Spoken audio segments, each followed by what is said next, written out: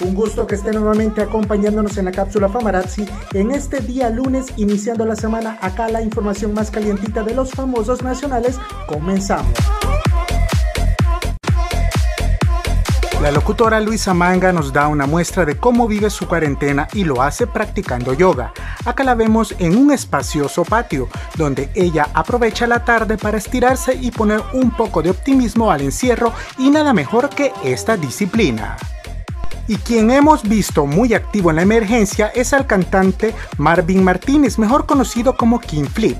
Él ha estado llevando alimentos a los más necesitados, pero esta vez hizo algo distinto y con desinfectante en mano se dio a la tarea de limpiar los carros que entraban a la zona donde vive. Un ejemplo de muchacho dispuesto siempre a ayudar. Siempre diva, nunca indiva. La ex Miss El Salvador Marisela de Montecristo nos muestra cómo pasa la cuarentena en su casa en los Estados Unidos.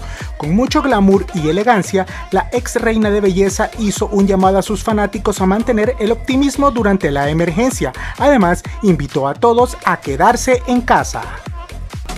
Y si de verdad quiere liberar el estrés al máximo y terminar exhausto, tiene que ver la clase de baile de Billy Grimaldi. Fiel a su estilo bastante intenso, Billy muestra los pasos que hace en sus lives en redes sociales.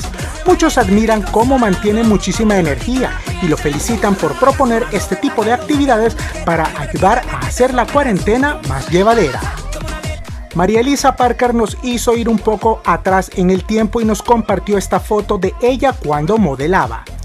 Como vemos, los años han sido generosos con ella, pues mantiene su belleza intacta. Ella dice que abrir el baúl de los recuerdos es buena terapia para reconocer lo lindo de la vida. Sus fanáticos, por supuesto, no dejaron de piropearla.